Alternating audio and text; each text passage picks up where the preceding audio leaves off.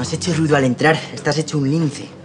Se coge antes a un mentiroso que a un cojo. ¿Esta es la manera que tienes tú de ayudar, samaritano, robando botellines a diestro y siniestro? Abuelo, por favor, ¿por quién me tomas? No las estoy robando. No, no, no, las estás robando, las estás cambiando de sitio. Anda, anda, tira, tira para adelante, berebere. Todo esto se lo vas a aplicar a tu padre con pelos y señales.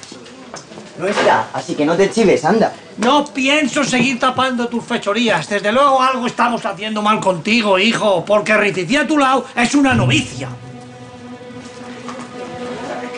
Que menudo paripé, es que es increíble, ¿eh? ¿Usted se cree que nos ha preguntado algo el policía? Nada, nada, ninguna pregunta. Vamos, que, que- que les importa un pepino el muerto. Ya no se investiga en este país como antes. ¿Y Benigna? Ha dicho que se iba para casa, que no quería pasar más de un minuto aquí. Me imaginaba que se habría ido a contarle todo eso al retrato de Benito. Como también imaginaba que este berebere barruntaba alguna fechoría en su afán de abrir el bar. Vamos a ver, ¿qué ha hecho ahora? No, no, espera, espera, que nos lo cuente él mismo. Venga, Manuel, a ver, a ver esa madurez, venga.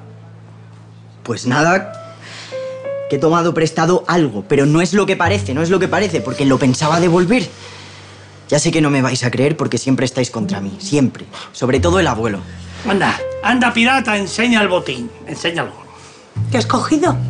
Pero vamos a ver, ¿qué has cogido? Enséñame, ¿qué has cogido?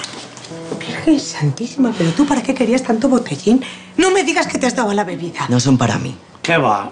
Vamos a ver, pero que has robado tus propios padres. Pero, y lo que es peor, que le ha dado por beber como un cosaco. que no es lo que parece. A ver, las he cogido porque iba a celebrar con unos colegas que vamos a probar los exámenes. Ya está, ya está. Luego me las iban a pagar. Si te gusta tanto la cerveza, ¿sabes qué vas a hacer?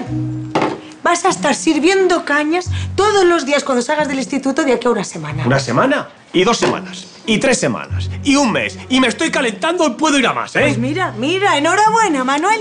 Acabas de conseguir tu primer trabajo fijo. De servir cañas nada, va a empezar a desmontar las mesas y a dejar la taza del váter como una patena.